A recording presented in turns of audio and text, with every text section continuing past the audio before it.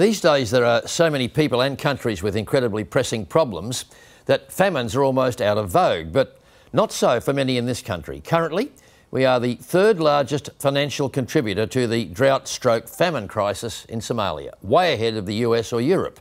Tonight, Hamish Macdonald reports from an area that just a few weeks ago was in the hands of terrorist warlords. This is Dolo in southern Somalia. They've walked across the desert, some for weeks, just to get here. Clamouring for their turn. By registering their families, they'll be eligible for food, but it hasn't reached here yet. Like much of this drought affected region, international aid agencies are struggling to get to these people. It's only with heavy security and at least partial permission, the Islamist Al Shabaab fighters, that they're here. Now, it's locations like this, camps like this, that many of those that are starving are fleeing to. There's not a lot on offer. There is some very basic food, some very basic shelter. But once they reach here, they're processed and they're passed through the border to either Ethiopia or Kenya. And it's there that they can be given proper medical care and more long term assistance. They've seen famine in this part of the world before, but the numbers this time are staggering 3.2 million people are starving. Even so, many Western countries are reluctant to donate because of fears the money or the aid will fall into the hands of the Islamists. The US has some pretty serious concerns about giving aid money to Somalia. Hmm. Why don't you? Oh, look, the truth is, um, uh, right out there, there are problems with uh, Al Shabaab.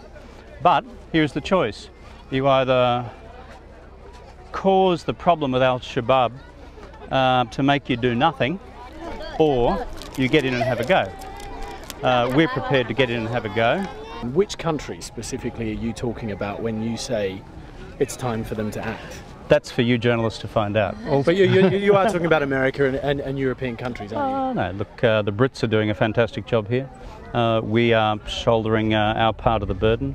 Uh, we currently represent uh, you know, probably 10 or 15 percent of the total allocation.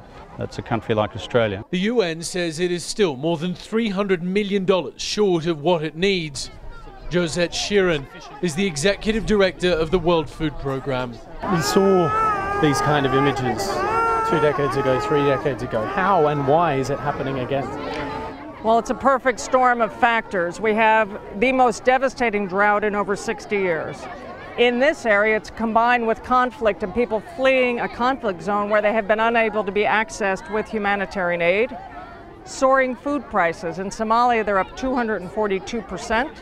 And then the loss of livelihoods. Many of these are pastoralists and they've lost all of their livestock to the lack of water and the drought. This combination is really throwing this area into a famine zone and creating a crisis for humanity this reticence from the international community to give money here because mm. of the issues in Somalia, the Al Shabaab. Mm. How much more difficult does that make the situation for you?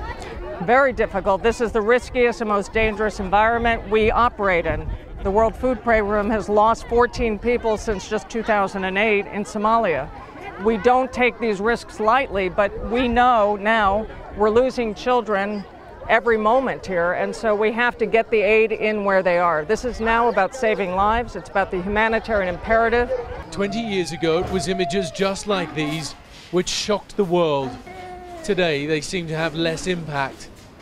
In these times of economic trouble and broad global uncertainty, sympathy, it seems, may be in short supply. Hamish Macdonald and Kevin Rudd there in uh, Somalia.